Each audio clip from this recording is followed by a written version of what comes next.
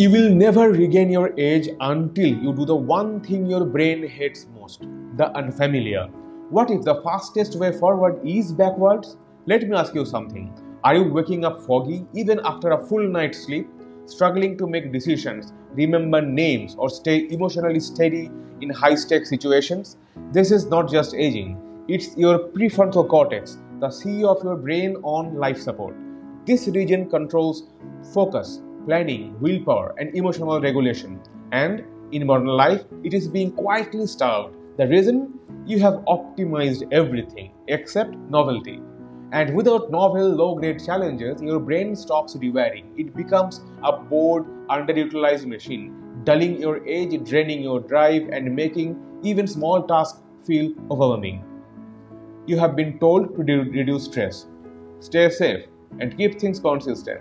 However, the human brain was forged through adaptation to the unknown.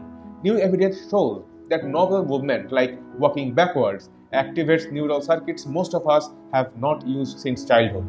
It lights up the prefrontal cortex, boosts coordination, reverse balance, and sharpens executive functions like goal setting, staying on track, switching strategies when needed, monitoring progress, and holding back from impulsive decisions. And guess what? It takes less than 2 minutes a day. Here are three tiny actions you can take right now. 1. Backward walking. On a safe path, walk backwards for 30 seconds, twice a day. Your brain will ignite long lost sparks. Try it on soft surfaces like grass or sand to supercharge your sensory feedback and balance recalibration. 2. Dual task challenge. Recite something in reverse like days of the week or months of the year while walking backward. This multiplies neural demand and executive control. 3. Closed eye pause. Stand still with eyes closed for 15 seconds. Let your brain process and recalibrate spatial awareness.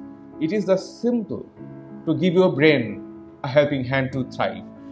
Reverse your steps to reboot your brain because the opposite of routine is resilience. If this hit a nerve or made you think of someone silently slipping into cognitive autopilot, share this video you could be the reason they take their first step backward into a sharper future.